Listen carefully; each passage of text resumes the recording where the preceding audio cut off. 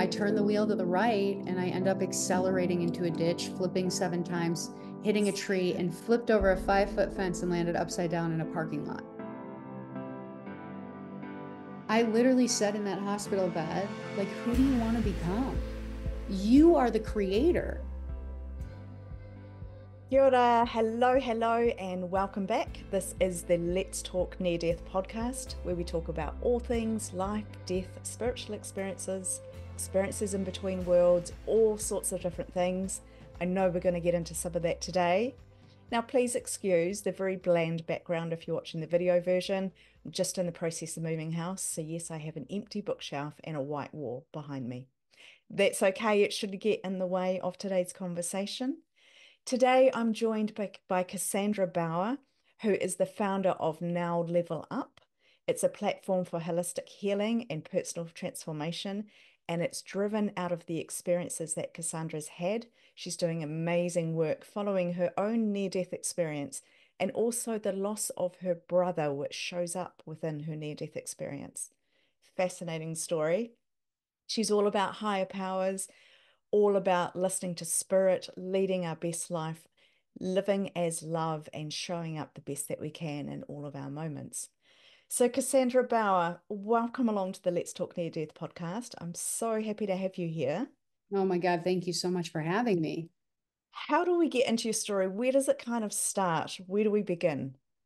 The best place to start is the beginning, helping people understand like where I really come from and and um, I guess how I became the person that's sitting here with you today, um, you know, through the near death experience. And with you saying, you know, like, where does it start? I, I feel like the biggest thing I've learned in my life throughout this journey is that it starts from my generational trauma and from mm-hmm. my personal trauma and my childhood trauma, which, you know, basically comes down to being raised in a family of people who had really unhealthy coping mechanisms, people who had really severe addictions, people who had real no idea how to guide a little soul in a little body in the human experience.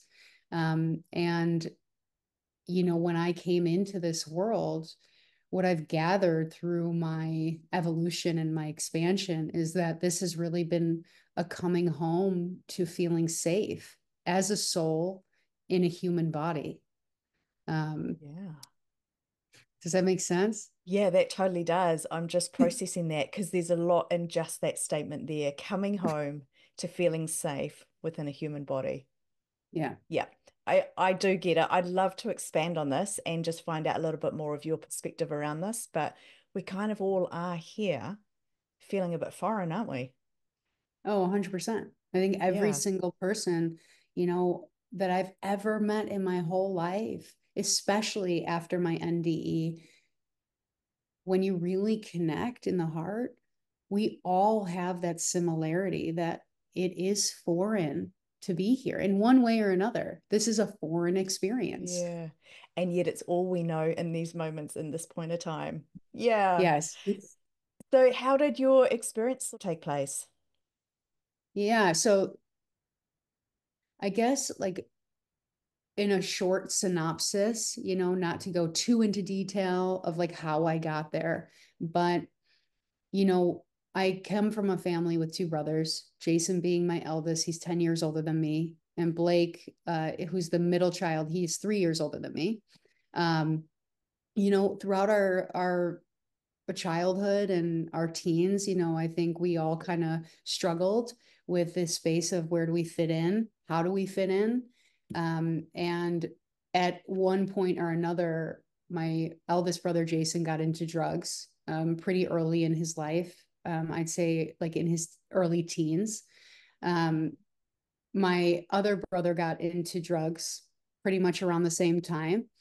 Um, and then for myself, I was about I, uh, around 11 years old when um, I had been one of those kids that like witnessed everything going on. I was pretty observant as a child. And I saw that addiction was a pretty big thing in my family. Mm. And I stayed away from drugs for a long time.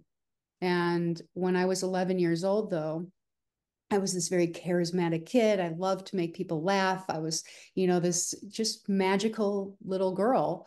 Mm-hmm. And at 11 years old, I was diagnosed with ADD and ADHD. Mm-hmm. Um, and I like to say now I was misdiagnosed because to me, that drug was really something that stole my soul because I was put on it and I feel like it dimmed my light in a very big way.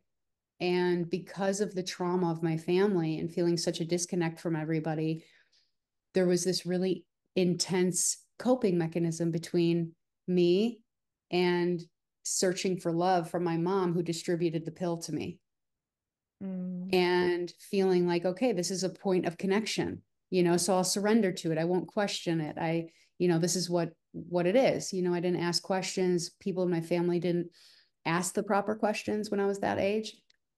And then when i got into high school um, i had this moment that changed my whole life where I was at the point in my life where I was distributing the drug to myself and I decided not to take it because it suppressed my appetite. Mm. And I'm in class one day and I'm just acting like Cass, you know, loving, playing, fun, entertaining. And mm. the two deans and my counselor ended up coming to the door pulling me out of class and asking me if I was high and if I was on drugs. And I remember in that moment being like, what? Like, it was this moment of like, whoa, like, I don't do drugs. I don't mm-hmm. drink. Mm-hmm. I don't mm-hmm. smoke pot. Like, I was that person that just didn't tap into that, you know?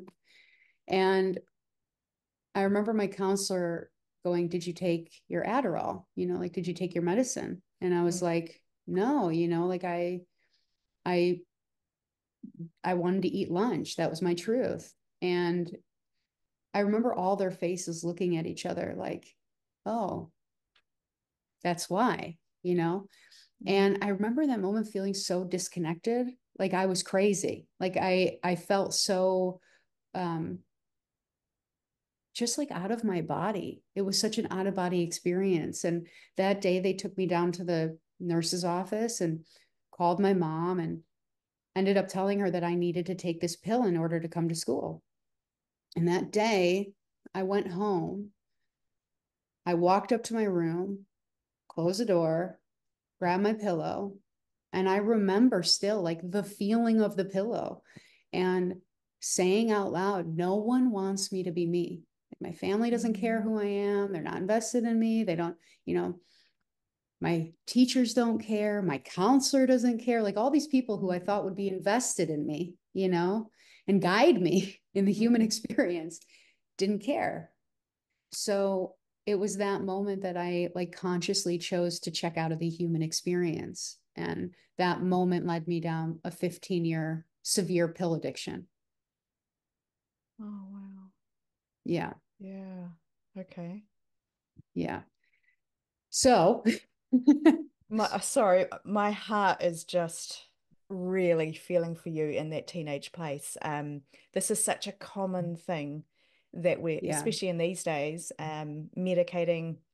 You know, even within within our family, we have exactly the same sort of things going on, and my heart is just really breaking for the teenage Cassandra of going yeah. through this and just feeling like you want to check out and feeling like your family don't love you and aren't there for you because it's so complicated and oh okay i'm going to breathe. I just yeah.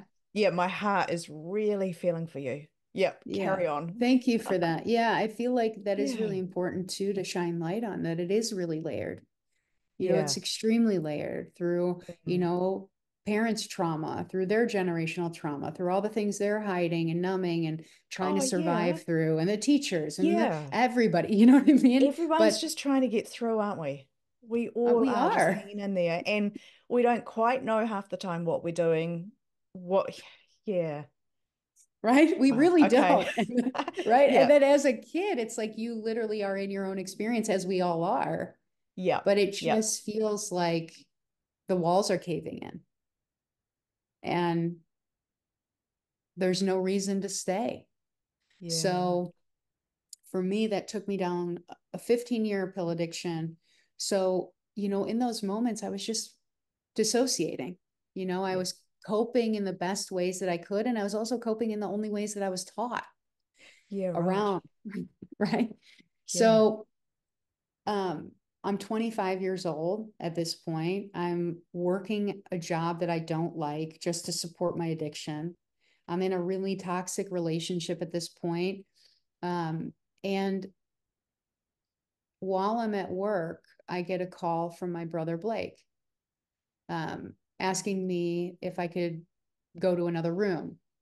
Uh, so I go into the bathroom and I'm standing in front of this mirror.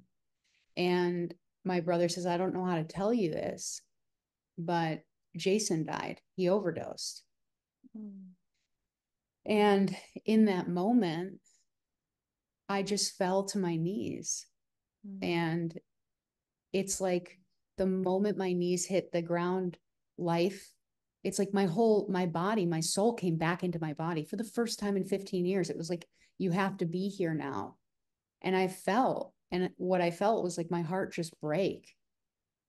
Mm. And I like to say that that part of my story was like the catalyst to me understanding my role in my own life.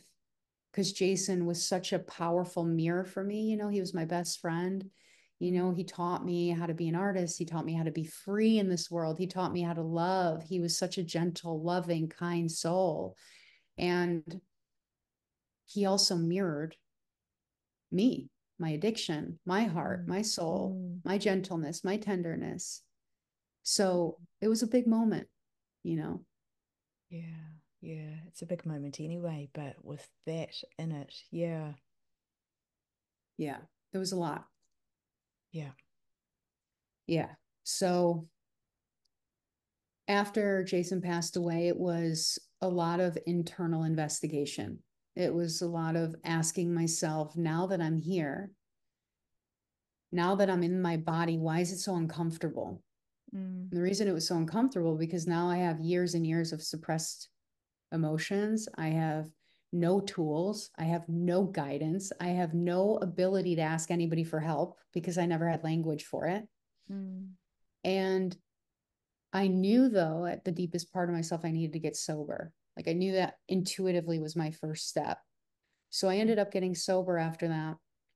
But no one ever really talks about how hard it is to stay sober mm. and to understand what I call the architecture of our disease and how the disease plays tricks on you.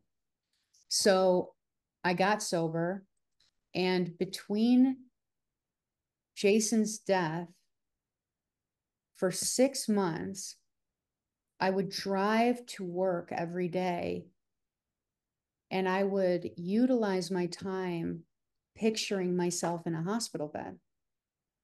Because for me, all I wanted was love, but I mm-hmm. didn't know any healthy ways of getting love other than like a kid who, you know, mom gives you love if you fall and you hurt yourself. Goodness, yeah. Right? Yeah. So it's like all I knew was this like really unhealthy way of getting love. So I kept picturing myself like, well, if I'm in a hospital bed, someone will love me. Everybody oh, will love me. Goodness. Yeah. Yeah. And so six months of all my energy, all my focus going into this visualization, this realm, this picture frame of life. So fast forward six months later, I'm at a party and I end up having a drink because that's not a drug. And I never was a drinker. I get behind the wheel of a car. I'm on the highway. A car gets in my lane and I'm listening to Eminem's I'm Not Afraid. Oh, and okay. like I'm just rocking out, you know, I'm not afraid. Yeah. yep. and um, I turn the wheel to the right and I end up accelerating into a ditch, flipping seven times, hitting a tree and flipping over and flipped over a five foot fence and landed upside down in a parking lot. Yeah. Oh, wow. And yet here you are right now, sitting here talking yeah. to me. So there is such a reason to be here. Oh, oh. okay. Let's go. Yeah. I can't wait to hear more. yeah. So, yeah.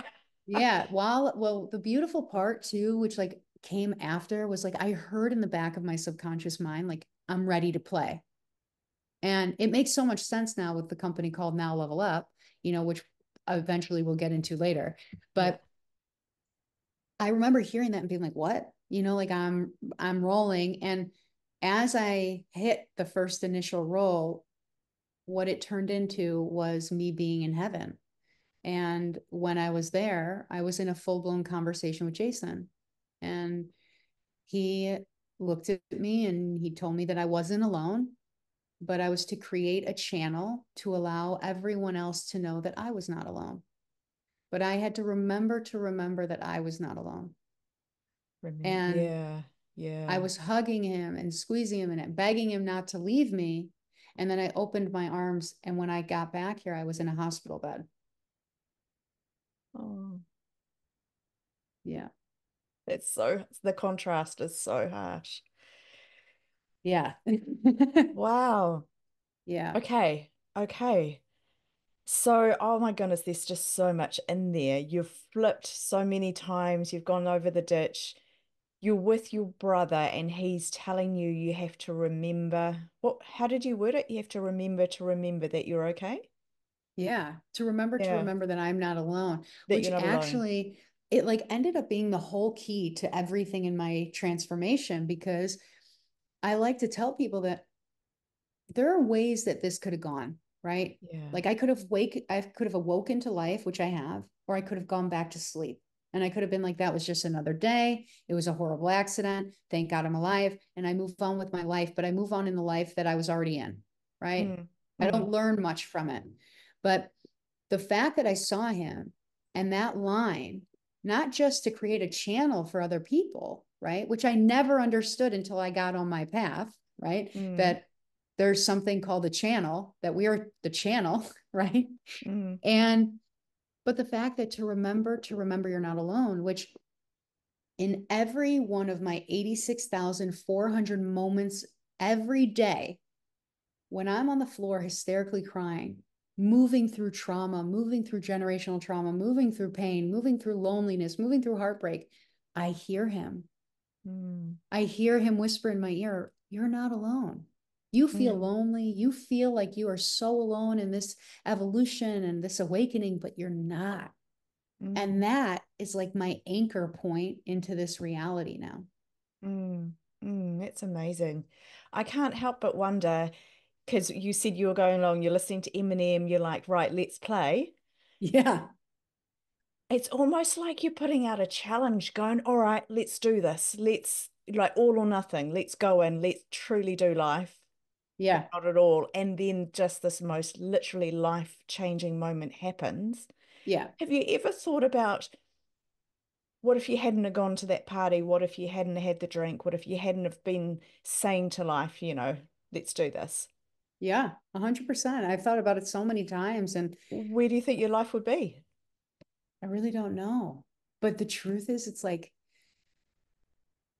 right here, like some way, one way or another. I know that Jason, my higher power, my dad, my grandma, like wanted me to be awake, wanted Yeah. and knew deep down that I would keep searching.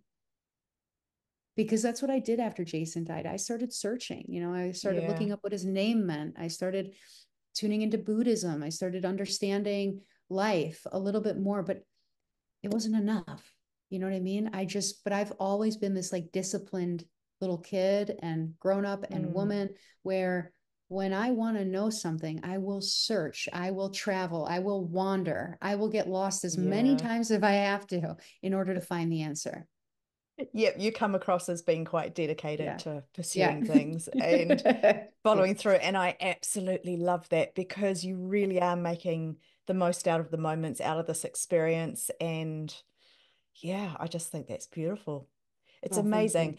So, what was it like? You said you released your arms from hugging him. I hope I've got that Yeah. correct. And then you were Yeah. awake. Yeah. What was that like? That it's such a jar, like the concepts are so different, the environments in that are so different. What was that like for you to wake up in this world and So jarring. yeah, It was it was jarring in the way of his message saying you're not alone, but then waking up in a hospital room alone. And I'm hooked up to a bed, right? I'm like, "Hmm, okay, well, this is the first test. Like, Yeah. do you do you believe us? It's like, okay, got it. Um, but what I sat there and I realized was like we come in the world alone and we go out of it alone. And you know, when I talk to people, they're like, that's pretty like room, you know, like, and I'm like, it's actually not, it's just reality. Like, even when we come through the womb, we're alone. We're essentially alone. There's people around, but we're conscious in our consciousness, we're alone. When we go out of the world, we're in our consciousness, we're alone. We're we're having that inner dialogue with ourselves. And so I'm sitting in this bed and I'm like, what just happened? But I also, at the same po- point, I felt different. I felt like a different person.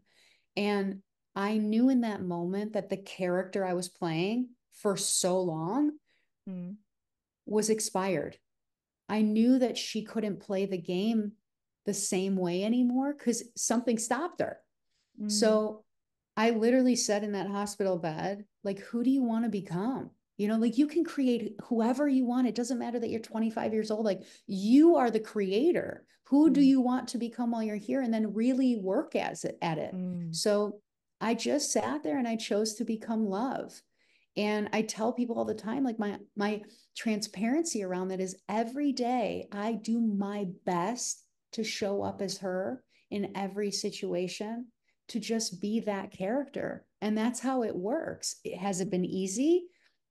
Absolutely not. Has it been has it been worth it? A hundred percent. Yeah. Yeah. Oh, I love it. I love that we can reinvent ourselves, redesign. Like you talk about being the creator. Yeah. We choose how we use our moments. Yes. It's interesting. I'd like to talk on a bigger scale of that. But at the moment, I'm just thinking about how every little decision we make, which we are capable of making, we choose these things. They really do create the picture of our lifestyle, the backdrop of our lifestyle, and who we are, who we become, what opportunities come before us. Yeah. Do you think in some way, I'm still a little bit caught up on what if you hadn't have gone to the party? Do you think Yeah. in some way we're talking about destiny and purpose and all these things? I do. Yet we're saying we can create anything, we can choose who we become, we can design our life.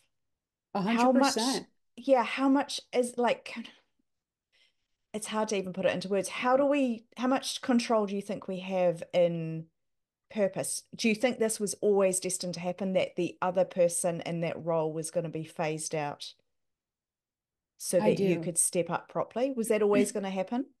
I do. You know, I actually, when people even talk to me about my brother, they're like, you know, how do you talk about it? Even in the beginning years of my evolution and my awakening, it was like, how could you talk about it in the way that you do? And it was like, because I get it. You know, like he was such a gentle, unbelievable soul, but he had his own destiny. And Yeah. now we're partners on the other side. Like we are literally bridges Yeah. for each other, right? So Like cool. he he tells me what I need to do in this world, and I tell him what he needs to do in that world. Like we have this beautiful co-creation, and he helps me to be this beautiful beacon of spirit and an advocate of spirit. Because if they don't have a physical voice, we're their voice. And that's what I've learned in our life. And when you talk about like creating our reality, I am a big believer that when we're conscious, when we can train ourselves to be conscious in our now moment, in all those 86,400 moments, we can create the reality which we want to be in. And I love what Dr. Joe Dispenza talks about with our personality creates our personal reality, Oh, yeah, definitely. See, I'm a right? big believer in all of this. Yeah. Yeah, And then I think about divine appointments and about how I do believe there are moments in our life which will happen regardless. 100%. I'm But yeah, how we set up our reality is how those moments will play out as well. Yeah. So, yeah, no, it's really, really interesting. Have you had any other experiences with your brother since he passed? Like, have you sensed him around? Have you seen him? Have you had other types of contact with him? Oh, he's with me all the time. Like literally Okay, all so the you do, you feel really tuned in all the time. all the time. Yeah, he's and he's like everyone in my life too knows him. Everybody in my life has like literally will call me and be like, oh my God, Jason's with me today. He's like such a protector really? of everybody so cool. who's around me. Yeah. And it's somebody asked me um the other day, like, you know, how do you what are some signs that he gives you that you like know it's him?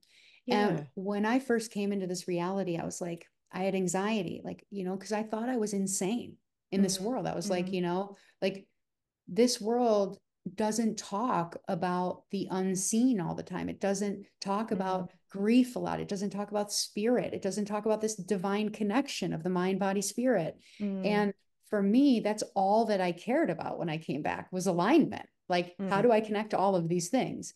Mm. And um, the first day that I was like really practicing my magic, I was like, Jason, I'm like, just like, he was an amazing artist. I'm like, paint me a purple flower show me that i'm okay.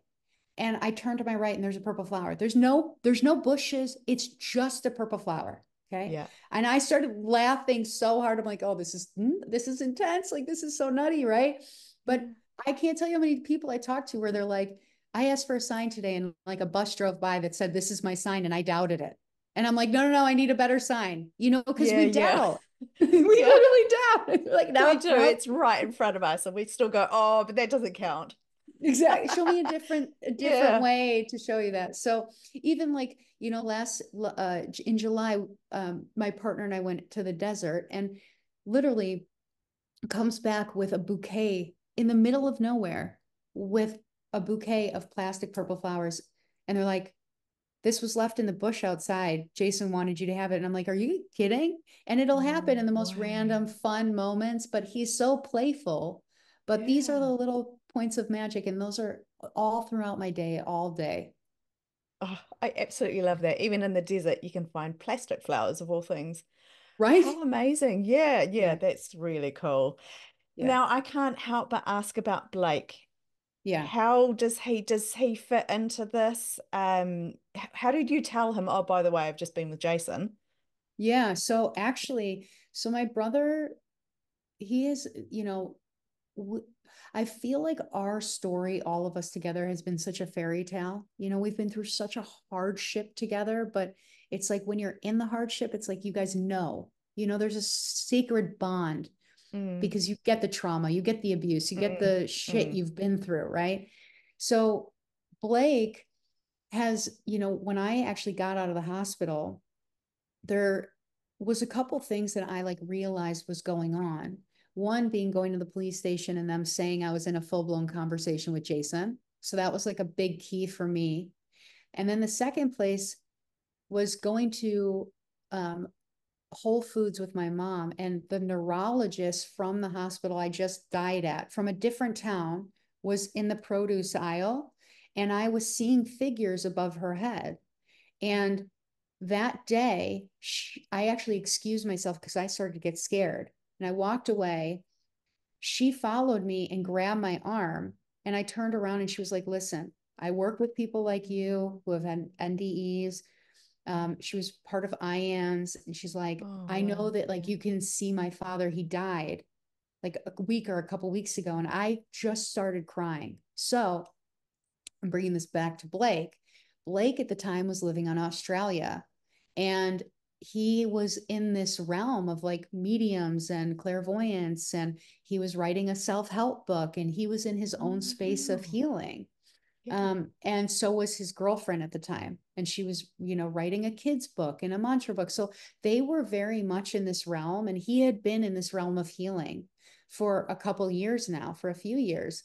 And um, i called him that night and i said blake something's wrong with me and he was like, What do you mean? And I'm like, I'm scared. I'm like seeing spirits. I'm seeing like a mm-hmm. cowboy in my room. I'm seeing a little girl. I'm like, I feel like I'm hearing things. And I'm like, something is wrong. Like I thought something was wrong with me. I thought I was going mm-hmm. insane.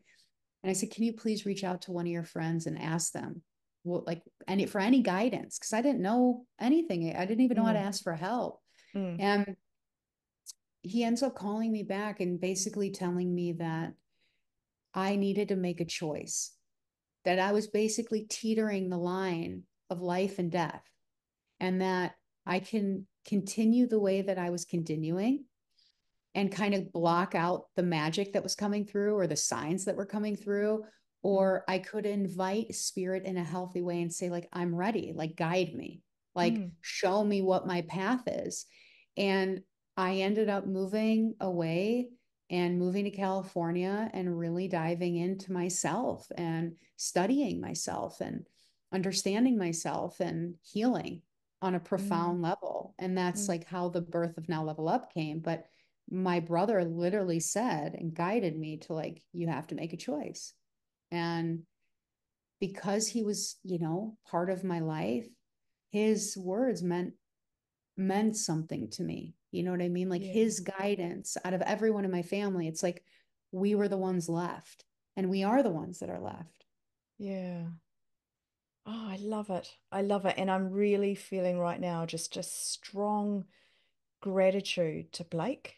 It sounds weird. Yeah. I don't know the guy. You've literally just talked about him just it's amazing how you're all connected. But if he hadn't been doing what he was doing and really searching for his reason to be here and his healing and all these types of things, he couldn't have helped you.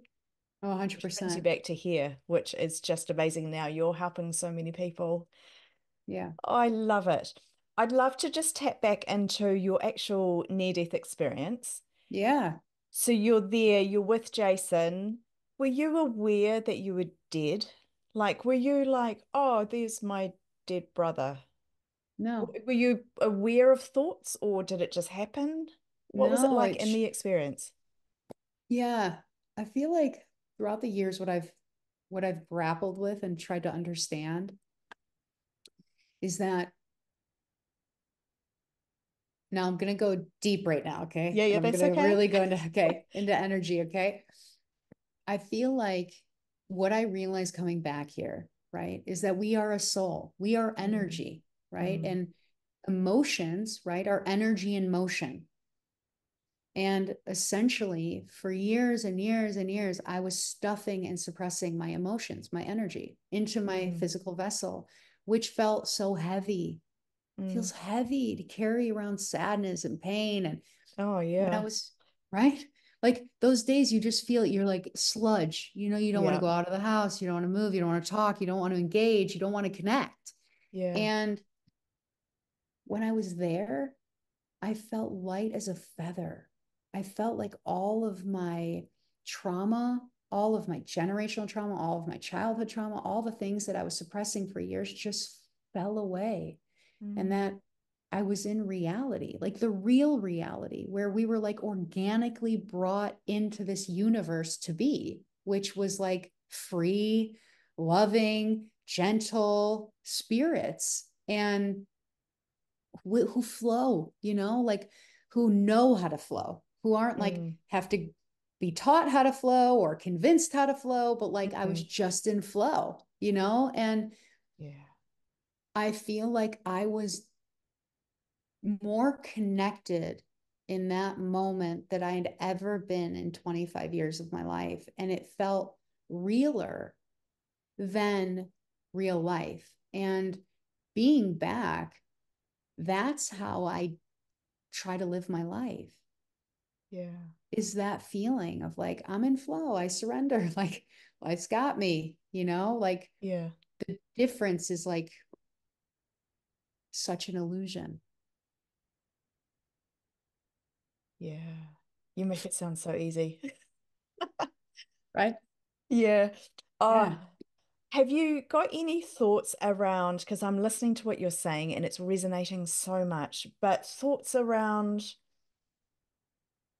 I don't know, I mean, it kind of sounds like for you, you've got it all figured out. You know your purpose, you know what you're doing yeah you it is difficult i get that but if somebody hasn't had the experience and they haven't understood why they're meant to be here have you thought around the bigger picture of what is life all about why yeah. do we exist? Why are we here?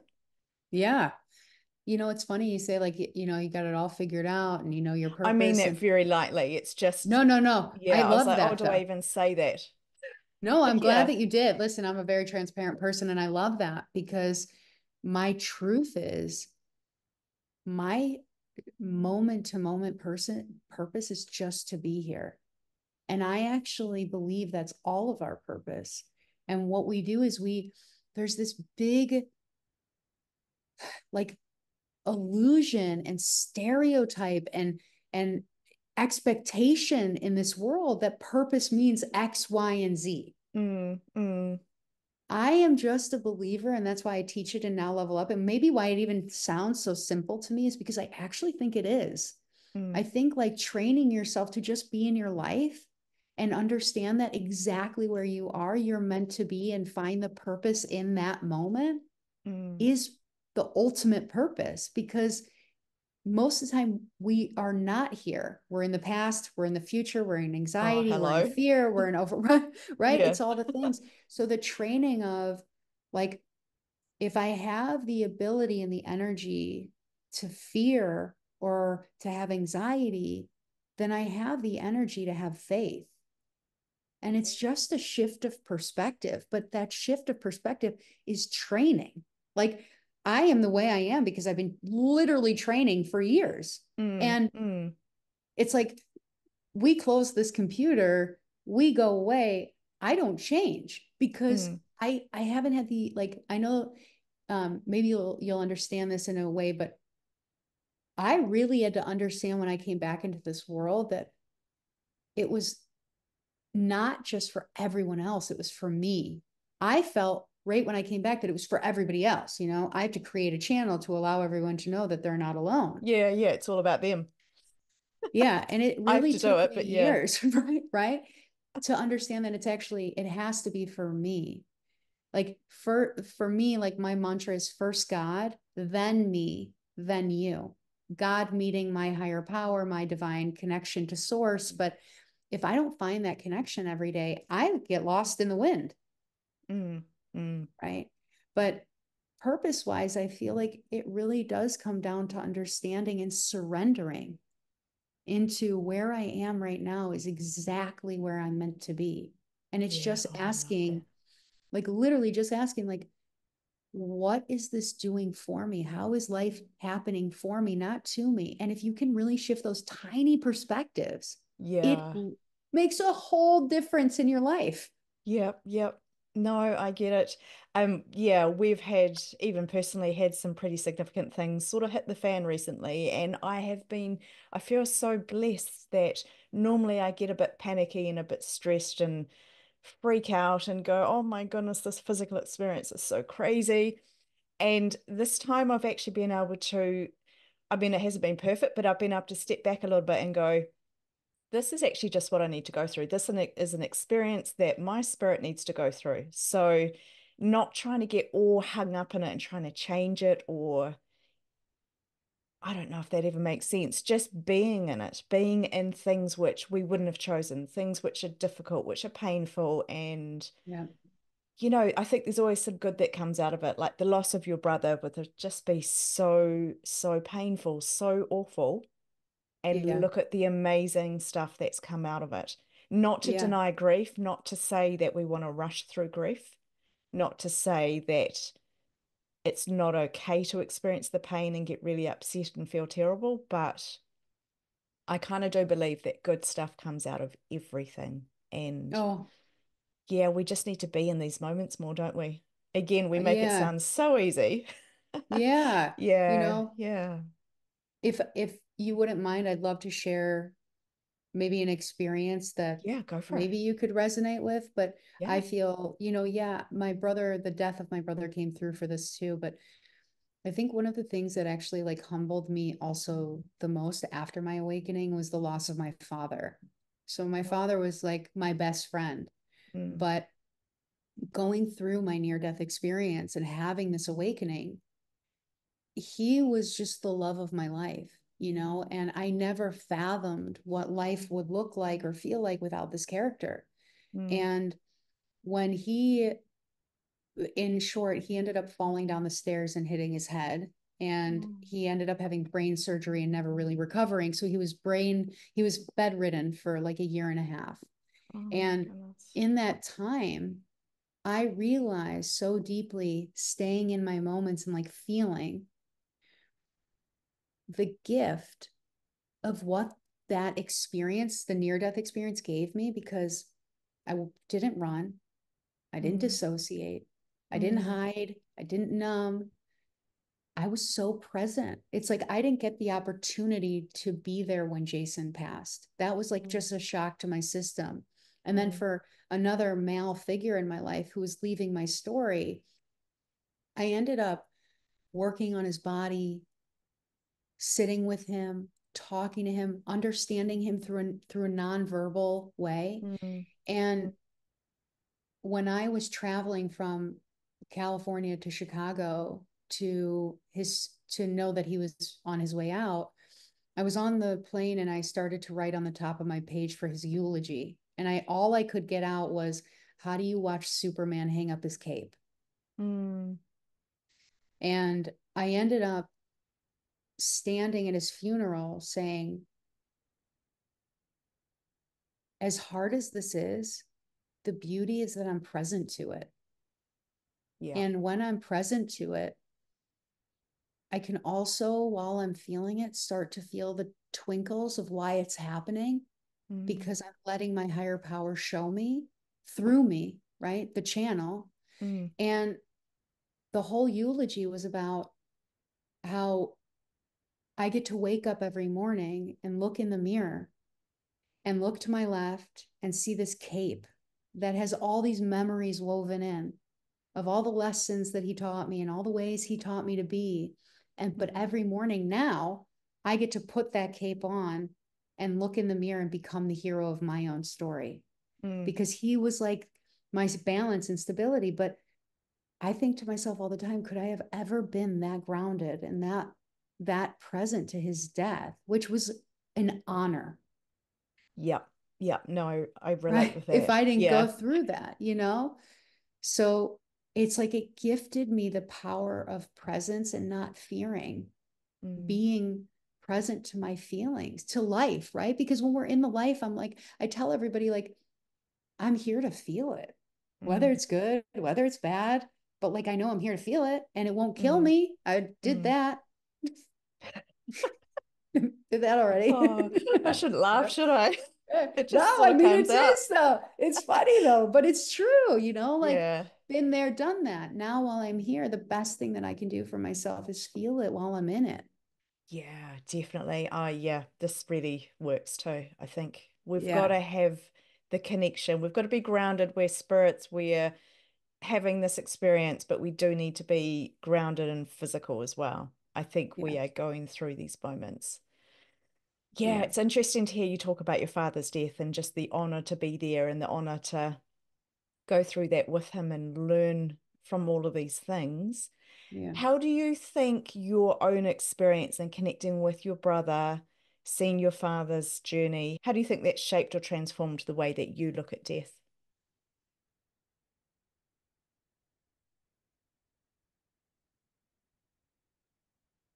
I think where I'm at in this present moment, the best thing that I've learned in my life thus far is loving detachment, impermanence, knowing that I heard this old proverb years ago about the hummingbird, and I have her on my on my hand, and oh, it's a it's like a little angel with a hummingbird in front of her like on a cloud. Can you see that? Yes. It's hard because yeah. when I talk, the video comes yeah. back to me. But oh, okay, got yeah, we got a glimpse of that. yeah. So, um, it's this old proverb about how, like, our purpose here is to be like the hummingbird, because when you really watch a hummingbird, it moves so fast, but the moment it stops in front of the flower, it's fully present, and it falls in love with this flower, but then it goes to the next and it's all about that this life is like when I'm even meeting you, like right now, Kirsty, it's like for our souls to fall in love with each other, for us to be here for each other mm. fully. Mm. And then to be able to go to our next moment and be fully present and fully in love with it, but yeah. to not get attached. So I feel like um, letting go, you know, letting go is how I think about life. It's just enjoying the ride And I learned that from Jason at a very young age. That was his like tagline was like, just enjoy the jo- the ride. You know, Yeah. it's not about the destination, it's about the journey. And for me, it's like, um, if I if I commit to living into each moment of my life, I will not regret the moment I have to say goodbye. Mm. Mm. Yeah. Yeah. That's really nice. That's really good. I love it. I feel like there's a couple of themes which keep coming back and we keep circling around being present, Yeah. about having these moments, about having this physical experience, about being love and just showing up in every moment Yeah. goodness and yeah, full attention. I can't remember the words you used for it. Here's me talking about full attention. I can't remember the word, but it was around being just completely in the moment that you're in and not worrying about the next ones, the future ones, the past ones. Let's just be and let's be engaged in what we are doing. I Mhm. really love it. I really love Yeah. it. So let's talk about what you're doing now. You've got this amazing Yeah. platform helping loads of people. Tell Yeah. us a little bit about what you're doing. Yeah. So, you know, I started now level up truthfully from my own suffering, you know, and understanding that in my suffering, the key was like I felt alone. Mm. And throughout the years of helping people, I've realized just how alone we all feel. And I have dedicated myself to coining and saying that I am the perfect mirror because I do my best to be really transparent in all my moments to give people permission to just be themselves. And now Level Up focuses on the mind, body, soul connection because I'm really a believer that alignment is key. Mm. That if we are not, we don't have the body right, we don't have the mind right. We don't have the mind right, we don't have the soul right. So I work with a bunch of different modalities to align the mind, body, and soul. So I focus strongly on generational trauma, where I feel like it all begins. Mm. Um, I specialize in childhood regression therapy, so inner child Oh, work. wow. Yeah. Um, but I have really honed in on parts work, which is a really deep modality with inner child work, focusing on parts, like fragmented parts of our childhood, of like our five year old self, our 10 year old self. And it's very tedious work because we have to be able to evoke them to come forward and feel safe in the container in order to do the work, right? Mm. So the reason I start with those two modalities is because I believe that we can't really change our reality unless we pull the roots out to grow something new. And we have to go that deep. And I love going that deep and I love making it fun and making it playful. And you know what I mean? Because it can be that. You know, I've been through so much darkness that it's Mm. like I feel like the work that I do and now level up is so colorful. Like all my clients are just like, wow, this is so fun. You know, it's playful, it's nice. Yeah. And then we move into trauma informed therapy. So I do believe that trauma is really a perpetual cycle that keeps us in our imprints, our conditioning, and our programming. Um, and then I work with somatic movement therapy. So little movements in the body in order to release the trauma in the physical body. Mm, You know, mm. that, you know, I am a big believer that we hold the energetic weight. Yes, and. It's just, you know, Yeah. parts of us that just need to let go and need to release. Um, and what I've built is a program that helps people just completely uproot their trauma and create the life from their most authentic version of self while working on the mind body soul connection because for me now level up fosters a place for radical transformation to hold and be steady for you to walk this path we call life as your authentic self, not who your mom wants you to be, your dad wants you to be, your generational Mm, trauma, all mm. these people and and society wants you to Mhm. be, but it's about breaking free and and truthfully being a system disruptor because I am a big believer especially now that we are in a place right now of building a conscious place for humanity.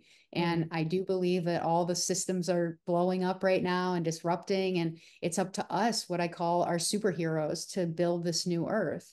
And in order to do that, we have to build it in alignment, you know? Mm, mm. So, You've talked a lot about uh, your working, helping people to release trauma and to move through, clear the system. You talked about getting the roots out and all of these beautiful works. Yeah. Do you think we can go through life sort of thinking we don't have much trauma and yet there is a lot of hidden trauma? Can There's we a- have so can we think Oh. that actually I don't really have any childhood trauma? I, I grew up in, you know, the perfect family and my life's been pretty easy. Yeah. And yet underneath there can be a whole lot of trauma that we're not even connected to.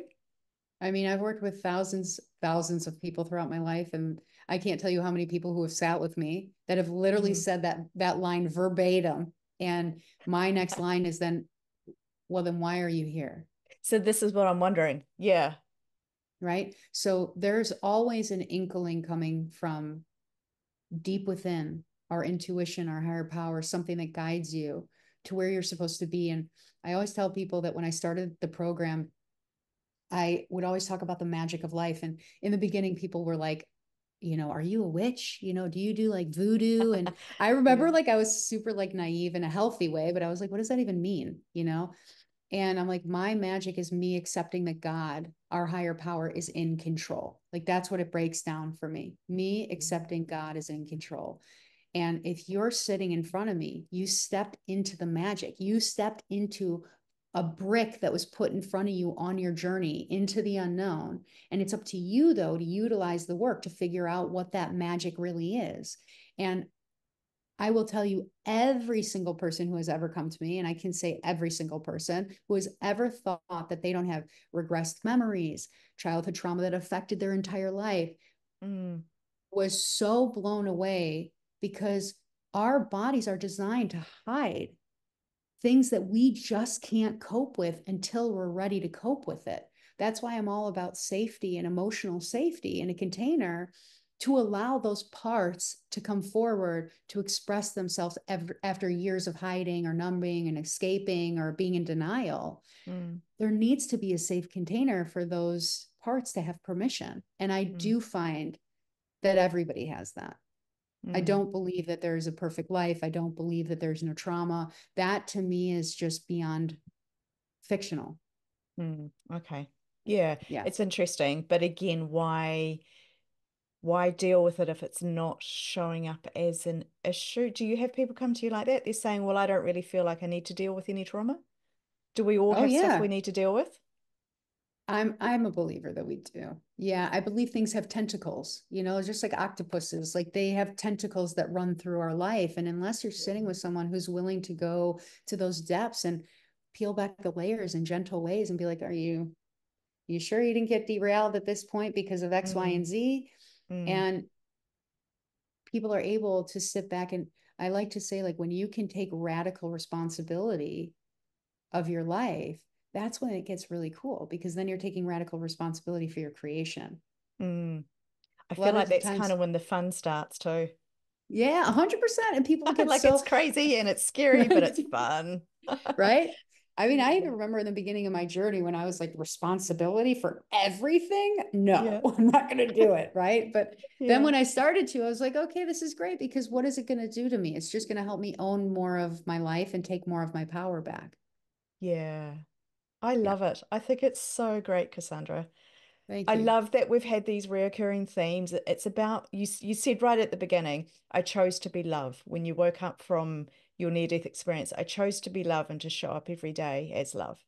Yeah. And for me, this is just beautiful. This is exactly what it's about. We Yeah. don't get a lot of what's happening here. We don't understand so much of this physical experience. And I think that's okay. But I Mhm. think what we need to do is show up as love, is show up with our best intention. Be kind, be good, have goodness, be decent people, and be in these moments. And like you said, let's just go for it. Let's make it exciting. Let's choose our path, our moments, create our future reality. I kind of just love it all. Yeah. There's a lot to go back and think on. So I'm really grateful for our conversation today, Cassandra. Cassandra Bauer, thank you so, so much. Thank you so much. It was so fun to play in the magic with you. I play in it. I love it. It really feels Yeah. like that though, doesn't it? Yeah, it really does. It really does. Thank you so much.